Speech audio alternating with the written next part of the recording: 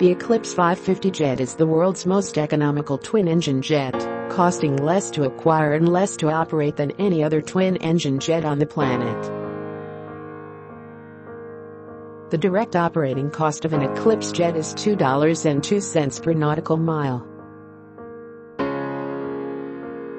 With the ability to fly at altitudes up to 41,000 feet at a max cruise of 430 miles per hour, all while consuming a mere 59 gallons of fuel per hour.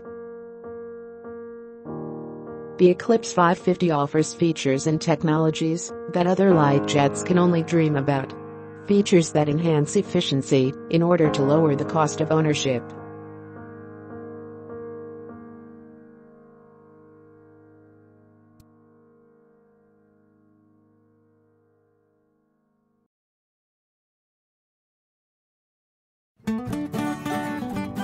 Please subscribe to our channel Jetline Marvel.